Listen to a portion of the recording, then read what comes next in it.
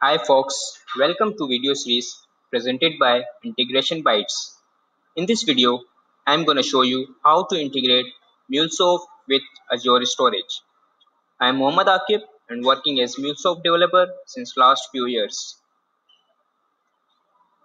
You should have Azure portal account and if you don't have that account, you can go to portal.azure.com and create a free, free account and you should have some basics of Azure storage. And if you don't have that knowledge we will be creating Azure storage in this video.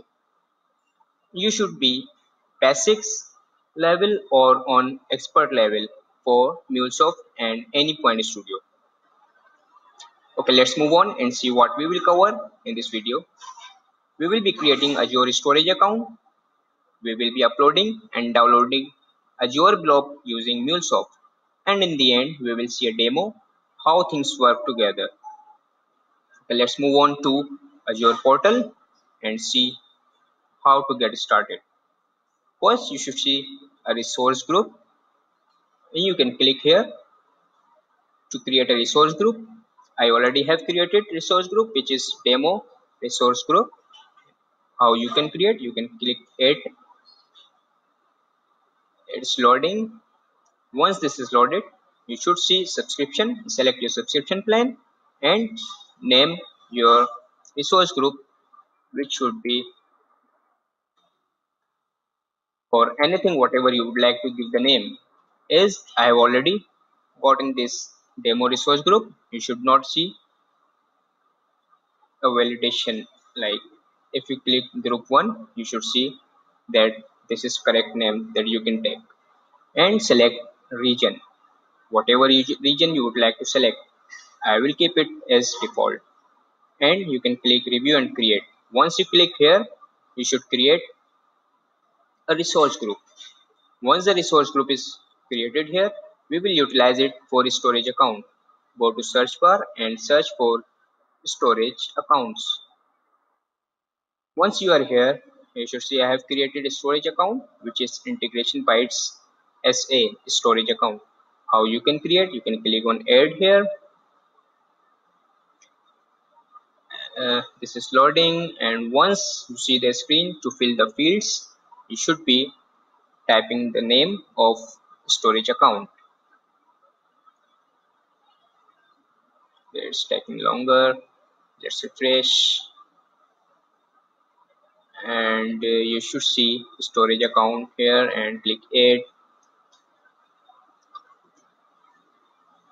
once we are here you can name storage account from storage account name.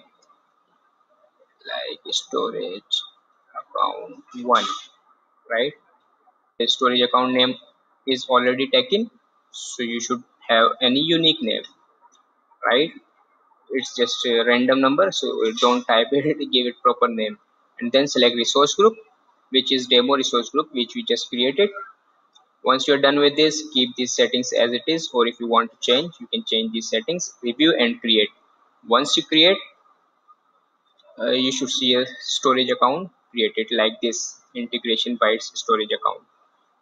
Click on your storage account and go to containers and within containers create a container. I have created integration bytes container. You can also create your own container and name it like integration bytes okay?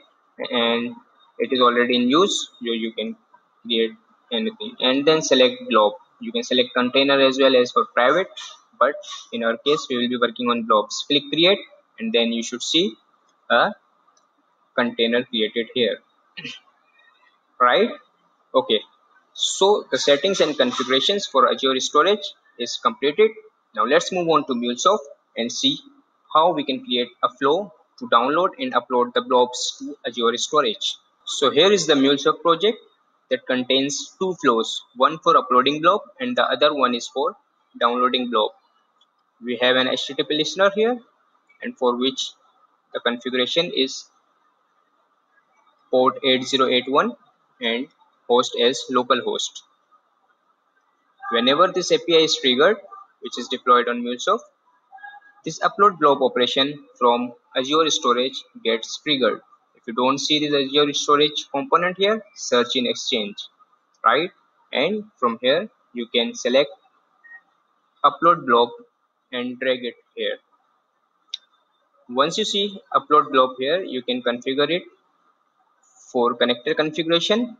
We can add configuration as account name would be integration bytes storage account that we just created.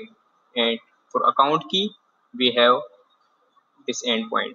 From so how we can get these uh, entities or fields? We can go to azure storage. And you can see this is integration bytes storage account. This is the name of account. And for access key click here and this is the connection string. Just copy these values and pass it to account key. And test the connection which should succeed. Click ok. And for general setting of upload blob operation we need to select edit inline for store blob and for container we have integration bytes that we just created. Okay. And for data or for file name the file name would be data.json and for file stream it would be payload. Whatever would be received as payload from request right? And then we are transforming the data as a response which would get as a response to json and printing it as logger right? Okay, let's go back to azure storage okay? And uh, uh, session is expired. Let me relog in. While this is loading we can go to rest client and send the request to that api which was upload. And the data would be json. This is the json data that i have created and click on send. Once the data is uploaded as blob like blob is uploaded to azure storage we can get response as true right? You can go and see in console that we have also got true here. Now let's move on and see in container okay? In storage accounts uh, integration by storage account and then container and integration bytes the container name and here we see data.json the configuration we saw from MuleSoft. So this is the same data that we just sent through REST client. So the blob has been uploaded. Now how to download this blob? You can go to another flow and this is the same HTTP listener.